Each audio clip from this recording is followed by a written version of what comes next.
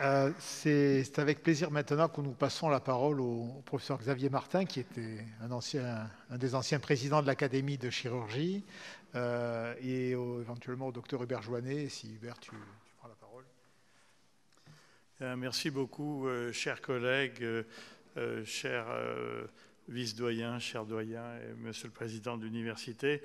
Euh, donc je, parle au nom de l'Académie nationale de chirurgie, dont le président actuel, Philippe Mar, est, bloqué dans un, train et pas encore, euh, est un peu en retard. Mais, donc il vous prie de, l'excuser. Et étant le plus ancien dans le grade le plus élevé, euh, je me vois confier la, mission de, ce mot d'accueil. Donc on est très sensible, l'Académie de chirurgie, d'avoir été invité au 800e anniversaire de la faculté de médecine de Montpellier. Euh, nous n'avons été fondés que euh, en 1748. Nous sommes très jeunes, mais on est content de voir nos aînés qui ont beaucoup progressé.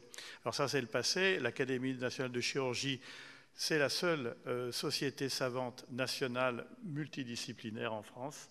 Et, pour ça, elle permet de, voir la chirurgie dans sa globalité et non pas du point de vue de la spécialité. Et elle est particulièrement bien placée pour euh, être le relais auprès de, des tutelles, des ministères, etc., euh, pour faire passer certains messages qui concernent le métier euh, de chirurgien. Donc on est vraiment très heureux d'être accueillis. on est content d'avoir ce, programme cet après-midi tourné vers le, passé, l'histoire, et puis vers l'avenir demain matin avec la robotique. À titre personnel, je suis très content de venir ici. Chaque fois, je m'émerveille de la beauté des, des, monuments, de la, cour d'honneur qui est absolument magnifique.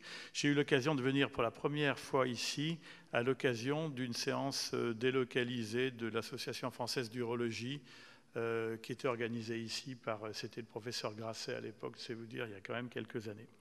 Voilà, donc euh, merci beaucoup de votre accueil et puis euh, merci aussi du travail incroyable euh, qui a été fait pour maintenir cette, cette, cette, logistique.